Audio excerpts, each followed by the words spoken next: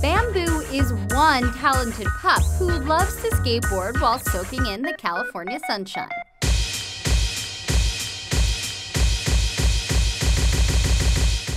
He has a huge following online and brings smiles to everyone who sees him in person or on YouTube. Is a mutt and was adopted by Mike Bolaris from a rescue. His mom was a stray dog who gave birth in a cave in the middle of the desert to nine puppies. Purebreds are nice, but if you want something unique, find a, find a mutt. Bamboo has been skating for the last four years and knows 50 commands, most of which are all about skateboarding. Turn left, turn right, cut back, push. You'll be amazed what it adds up to after a few years. You'll have an, an amazing dog and a much better bond with your dog. And it really doesn't take a lot of time.